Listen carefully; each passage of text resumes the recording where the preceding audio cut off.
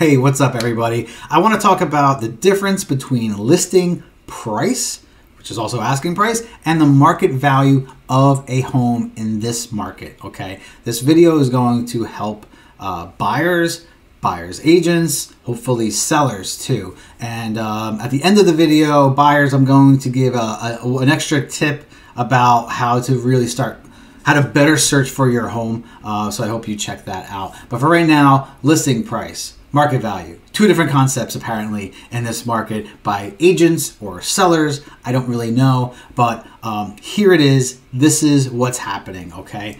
Um, when a home is about to get listed, the first thing you're supposed to do is look at the market value to understand what you should be asking people to offer for your home.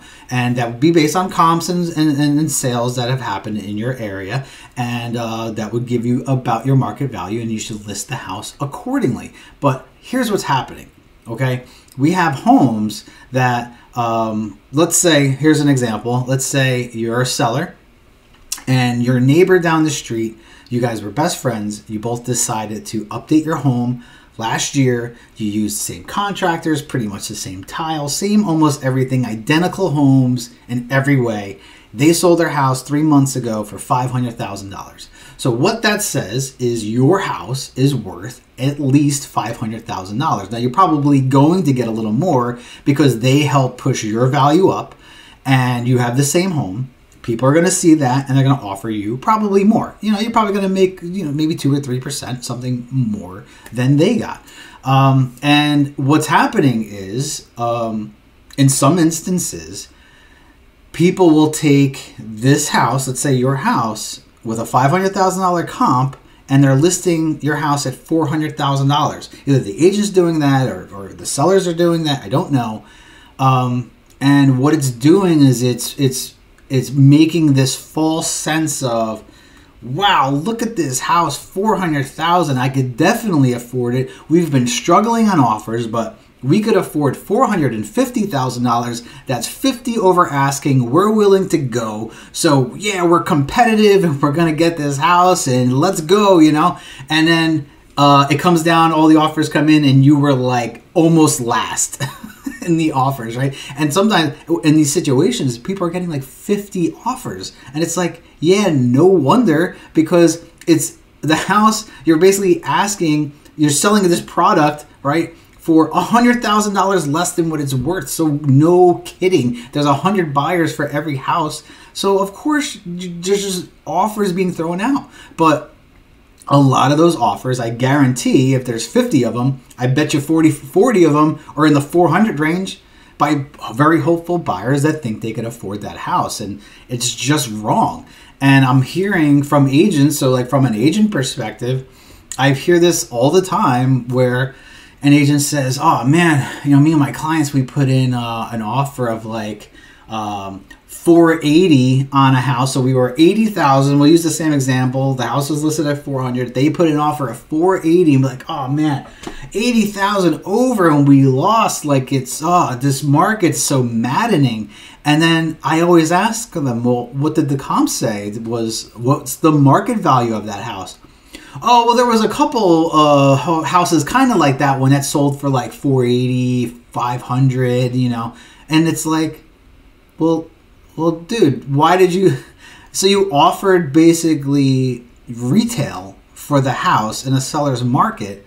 Like, why did why did you do that, and why are you surprised at all? And and I and I I know what it is. I, I I've just come to this conclusion that people are getting very focused in on the list price and they think the list price is what matters and it doesn't.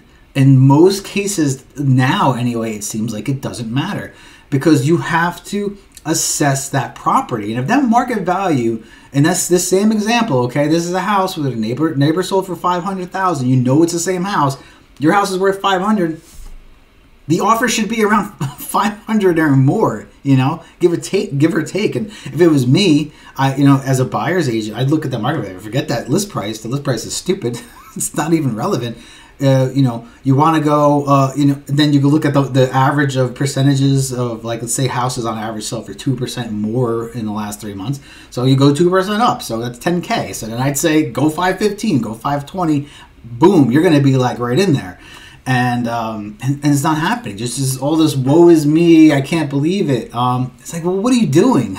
look you got to look at the market value so that's what's going on with that and now as a buyer here's here's the uh, uh, here's the buyer tip i'll give you um, to really figure out how how you should be looking for your homes you really because you kind of have to really take apart what's happening and some of what i just said between list price and market value they're two different things i know a lot of people what they're telling their buyers they're saying well, I know you could only afford four hundred thousand. Um, so you should be looking at homes that are listed at three hundred thousand. So you could you could gap that hundred thousand over, and it's like no, that's not even close to being good.